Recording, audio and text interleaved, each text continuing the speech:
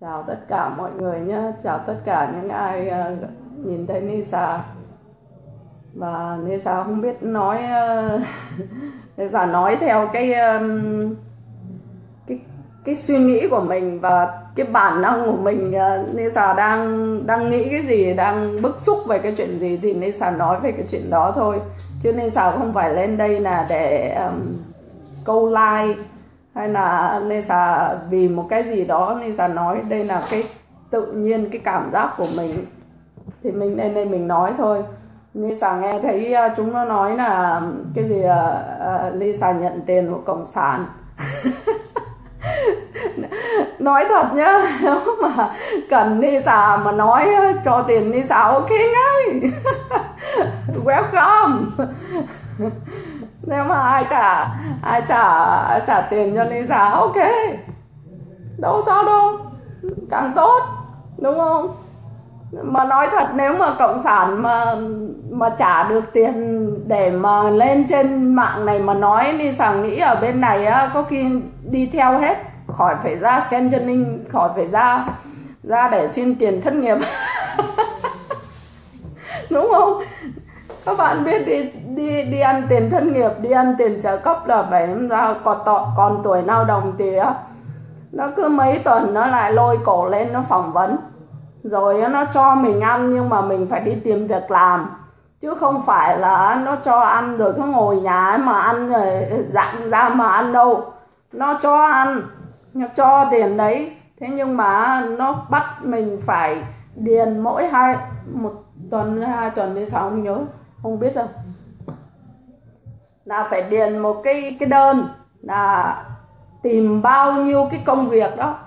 Phải tìm bao nhiêu cái công việc đó, xong ghi vào đó. Cái um, tìm ở ví dụ như là cái cái chỗ này, phải ghi cái số điện thoại ở cái chỗ đó vào. Tìm mười mấy cái, xong rồi nộp lên cho nó. Nó thấy ok, bắt đầu nó mới cho. Xong rồi um, vài tuần nó lại lôi cổ lên, nó phỏng vấn.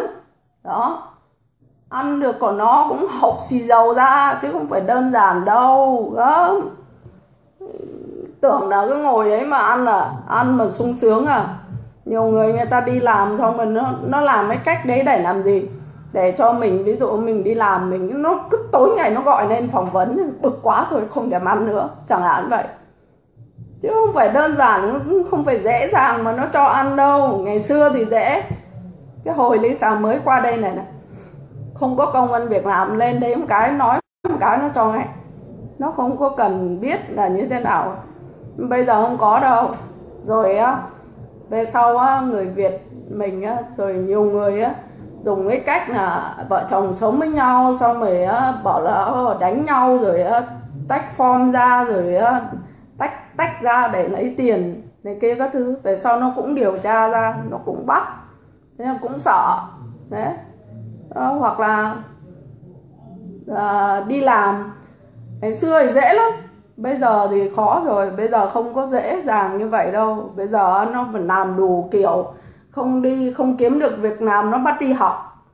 Đi học tiếng anh hay đi học nghề hay đi học bất cứ một cái gì đó và ngày xưa nó còn ờ, còn cho nó còn cho tiền để cho mấy người đi học nghề một cái nghề gì đó để đi ra đi làm nhưng về sau cũng nhiều người gian lận quá giờ nó đách cho nó rồi cắt hết không còn một cái gì nữa rồi cho nên nhiều khi ni sàng ngồi ni sàng nghĩ giống cái thời gian mà à, bao cấp ở Việt Nam mà xong rồi xong rồi từ từ cắt á mới đầu cho hình như mỗi người được 10 cân gạo hay sao ấy. nên giờ nhớ mang máng vậy xong nhiều ông còn mang sổ gạo đi cầm cho mấy bà buôn ấy.